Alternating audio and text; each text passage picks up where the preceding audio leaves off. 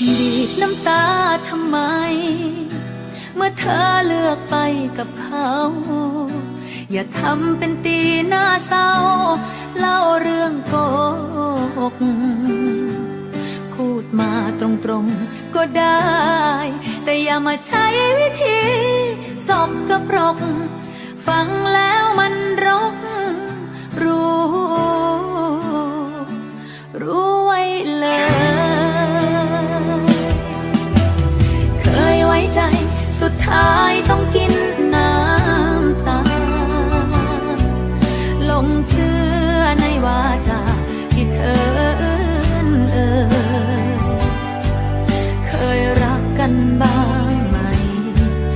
สักนิดก็ยังไม่เคย บอกมาเลยว่าเคย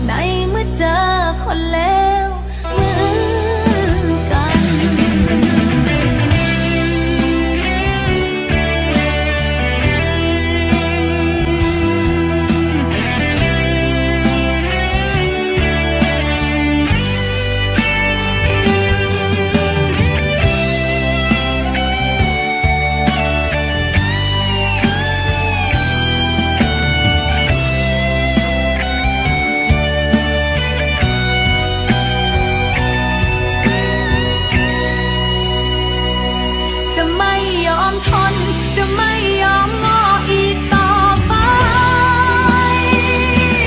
ที่ผ่านมาเกือบจะตาย